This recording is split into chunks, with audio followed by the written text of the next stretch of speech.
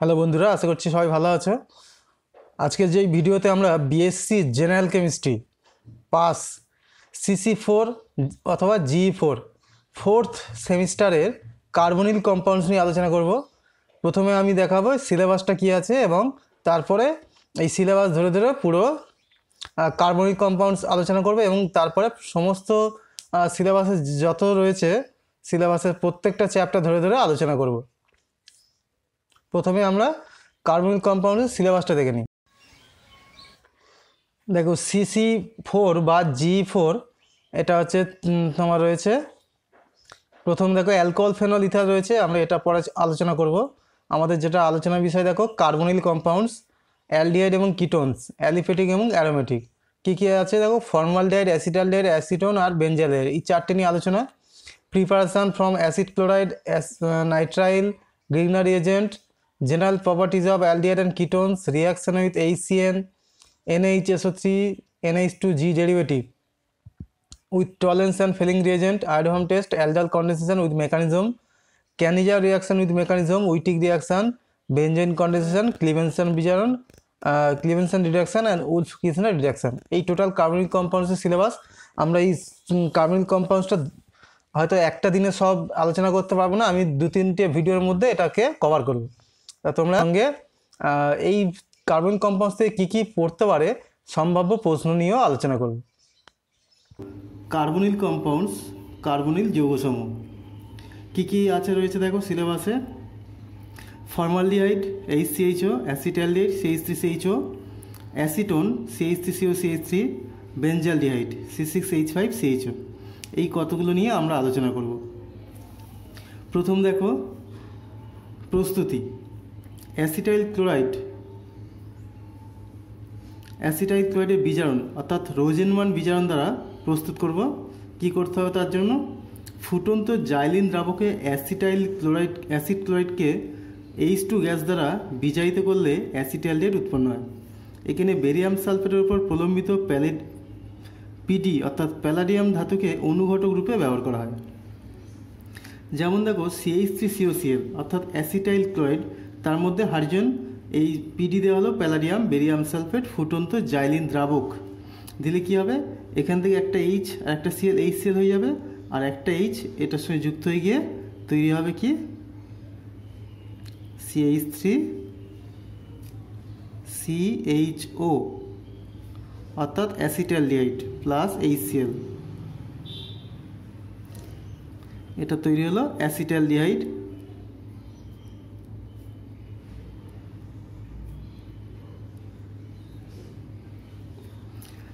এরপরে দেখো, এটা হচ্ছে বেঞ্জো ইল ক্লোরাইড।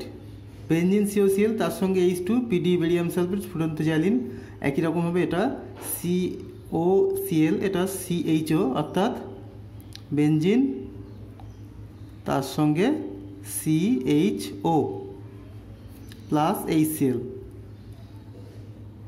অর্থাৎ এটা বেঞ্জাল বেঞ্জালডিহাইড তৈরি হলো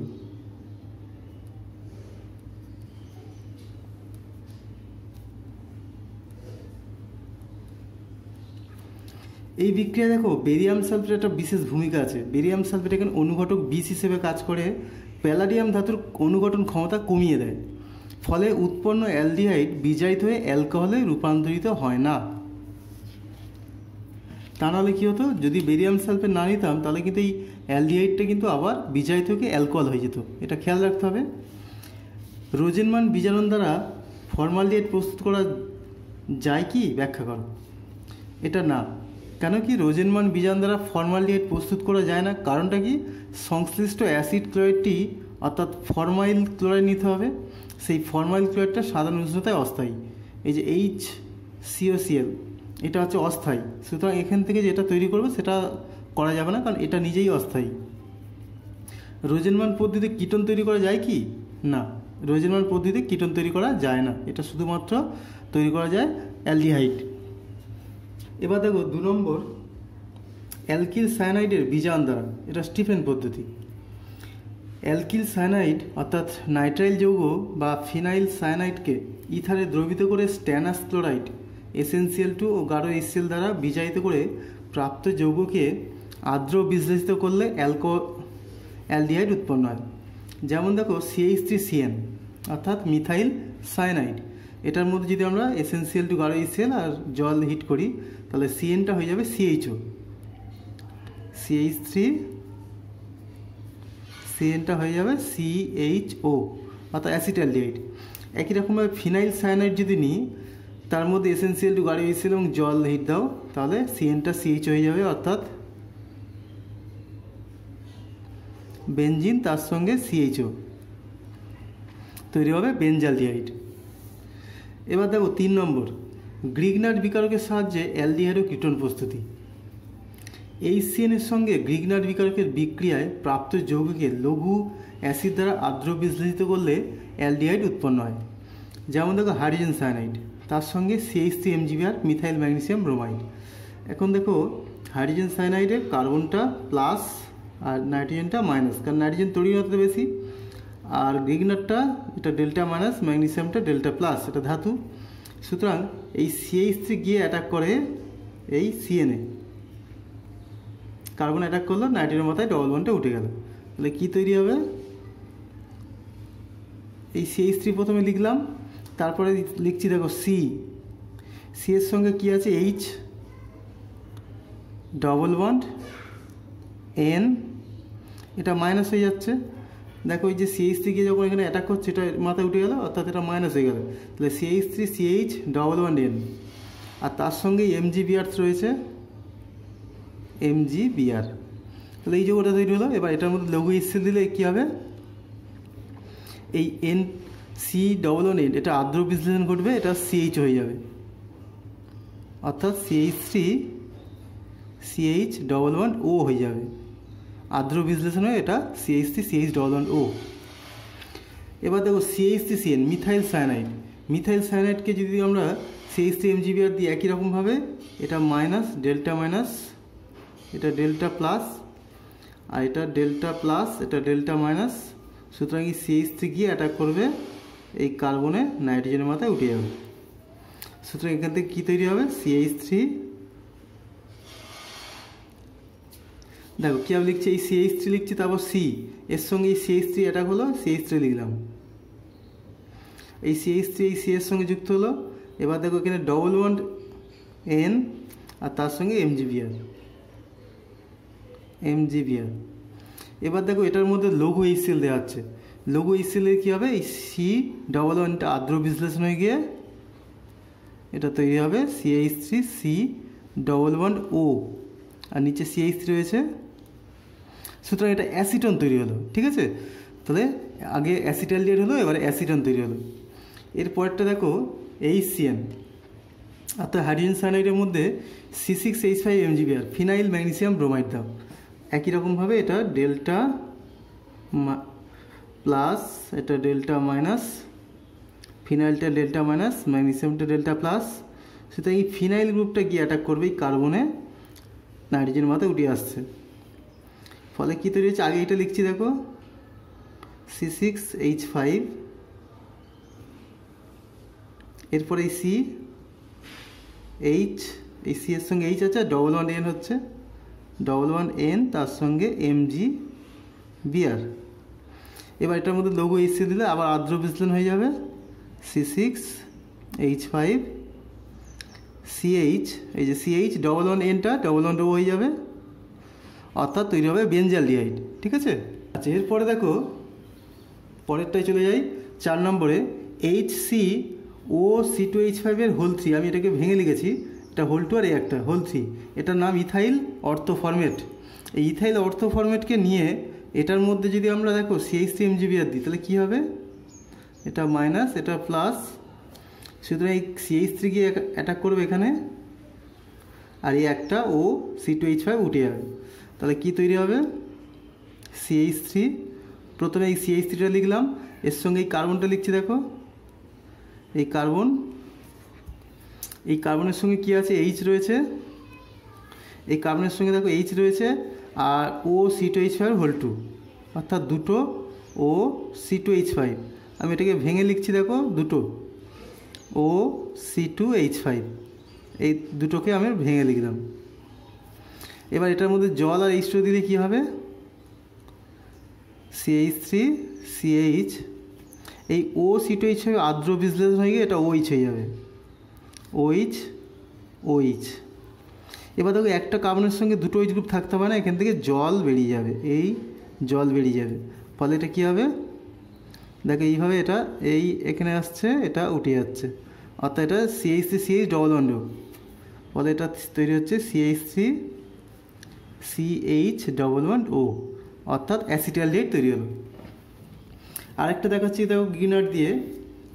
ইথাইল ফরমেট ইথাইল এটা ফরমেট এটার সঙ্গে কী হয় বিক্রি হচ্ছে? মাইনাস এটা প্লাস এটা delta minus sorry delta plus এটা ডেল্টা মাইনাস এটা দিয়ে দেখো এই সিএইচ থ্রি এটা গিয়ে এখানে অ্যাটাক করছে। আর এই গ্রুপটা বেরিয়ে আসছে। অর্থাৎ তৈরি হচ্ছে সি সিক্স এইচ ফাইভ এই সি সিক্স এইচ ফাইভ এর সঙ্গে দেখো সি ডবল ওয়ান ও আর এইচ ফলে তৈরি হচ্ছে বেঞ্জাল বেঞ্জালডিহাইড সুতরাং এইভাবে গ্রিগডারের সাহায্যে আমরা তৈরি করতে পারছি কার্বনিক কম্পাউন্ডস এবার দেখো পরেরটা অ্যাসিড ক্লোরাইড কীটন প্রস্তুতি। শুষ্ক ইথার মাধ্যমে অ্যাসিড ক্লোরাইডের সাথে ডাই অ্যালকিল ক্যাডমিয়াম হুম, আর টু সিডি বিক্রিয়ায় কীটন উৎপন্ন হয়। যেমন দেখো two CH three COCl acetyl chloride তার সঙ্গে দিলাম ডাইমিথাইল ক্যাডমিয়াম দিলে কী হবে? এই মিথাইল গ্রুপটা গিয়ে এখানে অ্যাটাক করবে। এই মিথাইল গ্রুপটা এখানে অ্যাটাক করবে সিএলটা উঠে যাবে। ফলে তৈরি হবে সিএইচ থ্রি সিও এই সিএলটা উঠে গিয়ে এখানে সিএইচ থ্রি সিএলটা উঠে গিয়ে সিএইচ থ্রি হলো। ঠিক আছে? তাহলে এটা তৈরি হলো অ্যাসিটোন এইভাবে হচ্ছে অ্যাসিটাইল ক্লোরাইড থেকে কিটোন তৈরি করা যেতে পারে। এবার দেখো, অ্যালডিহাইড এবং কিটোনের সাধারণ ধর্মসমূহ। ফর্মালডিহাইড গ্যাসীয় অন্য অ্যালডিহাইড এবং কিটোনগুলি অর্থাৎ এগারো কার্বন পর্যন্ত বর্ণহীন তরল পদার্থ। আরও বেশি সংখ্যক কার্বন পরমাণুযুক্ত অ্যালডিহাইড এবং কিটোনগুলি সাধারণত কঠিন পদার্থ। ফর্মালডিহাইড ঝাঁঝালো গন্ধযুক্ত গ্যাসীয় পদার্থ, অ্যাসিটাইলডিহাইড ঝাঁঝালো শ্বাসরোধী তরল পদার্থ। উচ্চতর অ্যালডিহাইডগুলি প্রায় সমস্ত কিটোনগুলি সমিষ্ট গন্ধযুক্ত রয়েছে। তুলনীয় আণবিক গুরুত্ববিষ্ট অ্যালকেন বা ইথার এর তুলনায় অ্যালডিহাইড এবং কিটোনের সূচাঙ্ক বেশি হয়। কারণটা কি জেনে নাও? অ্যালকেন অণুগুলির পরস্পরের মধ্যে দুর্বল ভ্যান্ডালস আকর্ষণ বল দ্বারা আবদ্ধ। এই যে দেখো, এটার মধ্যে কিছু নেই, শুধু ভ্যান্ডালস বল। ইথার অণুর পোলারিটি অ্যালডিহাইড বা কিটোন অপেক্ষা কম হয়, ইথার অণুগুলি পরস্পরের সঙ্গে দুর্বল ভ্যান্ডালস বল দ্বারা আবদ্ধ। এই আকর্ষণ বলের প্রভাব থেকে অণুগুলিকে মুক্ত করার জন্য কম তাপশক্তির প্রয়োজন। এটা হচ্ছে ether delta plus delta minus রয়েছে, কিন্তু খুব বেশি নয়। যার জন্য এখানে কম তাপশক্তির প্রয়োজন। অন্যদিকে, অ্যালডিহাইড ও কিটোনের পোলার অণুগুলি পরস্পরের সাথে অধিক তীব্র ডাইপোল ডাইপোল আকর্ষণ বল দ্বারা আবদ্ধ থাকে। এই আকর্ষণ বলের প্রভাব থেকে অণুগুলিকে মুক্ত করতে বেশি তাপশক্তির প্রয়োজন। এ তাই এদের গলনাঙ্ক সুরাঙ্ক বেশি। এই যে দেখো সি ডবল অন্ড এটা ডেল্টা প্লাস এটা ডেল্টা মাইনাস এটা ডেল্টা মাইনাস এটা ডেল্টা প্লাস পরস্পরের মধ্যে একটা তীব্র ডাইপোল ডাইপোল আকর্ষণ রয়েছে। তাই অ্যালডিহাইড কিটোনের সুরাঙ্ক গলনাঙ্ক বেশি হয়। এবার দেখো আমরা পরেরটা যেটা আলোচনা করব, অ্যালকোহল বা কার্বক্সিলিক অ্যাসিডের স্ফুটনাঙ্ক অ্যালডিহাইড কিটোনের থেকে বেশি হয়। তার কারণ কি? অ্যালকোহল অণুগুলি শক্তিশালী হাইড্রোজেন বন্ধন দ্বারা পরস্পর আবদ্ধ থাকে। দেখো alcohol R OH R OH R OH এই যে অক্সিজেন আর হাইড্রোজেনের মধ্যে। কারণ কি? এটা ডেল্টা মাইনাস হাইড্রোজেনটা ডেল্টা প্লাস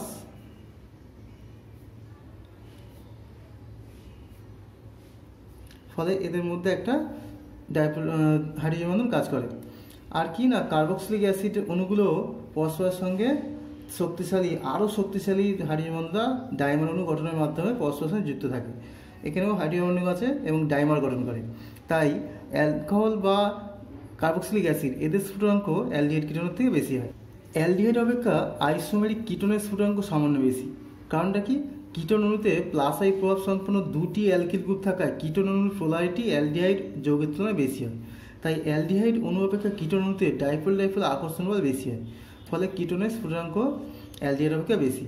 দেখো এটা হচ্ছে অ্যালডিহাইড এখানে একটা অ্যালকিল গ্রুপ আছে, একটা প্লাস এফেক্ট আর এখানে দুটো অ্যালকিল গ্রুপ দুটো প্লাস এফেক্ট তাই এটা বেশি পোলার হয়, তাই এটার মধ্যে ডাইপোল ডাইপোল আকর্ষণ বলটা বেশি। এবার দেখো অ্যালডিহাইড এবং কিটোনের যৌগগুলির দ্রাব্যতা। নিম্নতর আণবিক গুরুত্ববিষ্ট অ্যালডিহাইড এবং কিটোনগুলি অর্থাৎ চারটে কাউন্ট পর্যন্ত এরা জলের সঙ্গে হাইড্রোজেন বন্ধন করে গঠন করতে পারে, তাই এগুলো সহজে দ্রাব্য হয়। এই aldehyde delta plus, delta minus, কারণ অক্সিজেন তার নেগেটিভ ডেল্টা মাইনাস, আর তার জলের সঙ্গে এভাবে হাইড্রোবার্নিং করছে। কিটোনও একই রকমভাবে জলের সঙ্গে হাইড্রোবার্নিং করছে। কিন্তু দেখো, চারটি কার্বন পরমাণু বেশি কার্বন পরমাণুযুক্ত হয়ে যায়, তাহলে অ্যালডিহাইড এবং কিটোনের জলে অদ্রাব্য হয়ে যায়। কারণটা কি?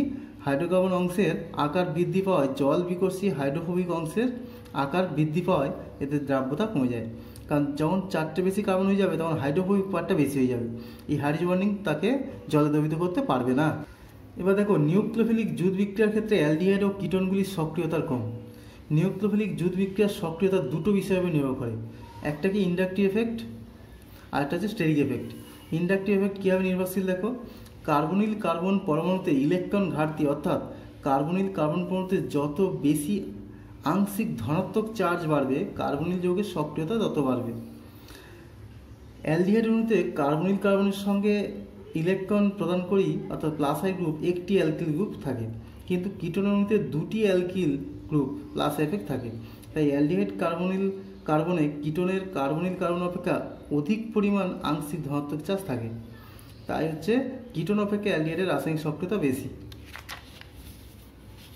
দেখো, এই যে আমি এখানে আরেকটু দেখাচ্ছি, দেখো, এই অ্যালডিহাইড রয়েছে, অ্যালডিহাইডে একটা সিএইচ থ্রি আছে, এখানে দুটো সিএইচ থ্রি আছে। ফলে এখানে কি হচ্ছে? এই এরা দুটো প্লাস এফেক্ট দিয়ে কার্বন মাথায় পজিটিভ চার্জটাকে নিউট্রালাইজ করে দিচ্ছে, যার জন্য সক্রিয়তা কম, অ্যালডিহাইডের সক্রিয়তা বেশি। আরেকটা এফেক্ট দেখো স্টেরিক এফেক্ট অ্যালডিহাইডের কার্বনিল কার্বনে একটি, কিন্তু কিটোনের কার্বনিল কার্বনে দুটি অ্যালকিল থাকে। কার্বনিল কার্বনের সঙ্গে যুক্ত গ্রুপের সংখ্যা বা আকার বৃদ্ধি পেলে স্থানাভাবজনিত বাধা অর্থাৎ স্টেরিক এফেক্ট দেখা যায়। ফলে ওই কার্বনে নিউক্লিওফাইলের আগ- আগমন বাধাপ্রাপ্ত হয় এবং কার্বনিল যৌগের সক্রিয়তা হ্রাস পায়। তাই নিউক্লিওফিলিক যুদ্ধ বিক্রিয়ায় কিটোন অপেক্ষা অ্যালডিহাইডের সক্রিয়তা বেশি হয়। সক্রিয়তার কমটা খুব ইম্পর্টেন্ট লিখে রাখবে।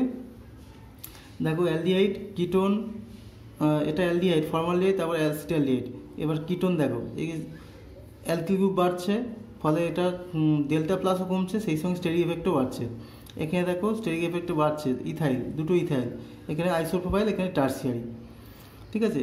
আবার নিচেরটাও দেখো, এটা ফর্মালডিহাইড অ্যাসিটালডিহাইড এটা কিটোন এখানে সি সিক্স এইচ ফাইভ অর্থাৎ বেঞ্জিন রিং দেওয়া আছে।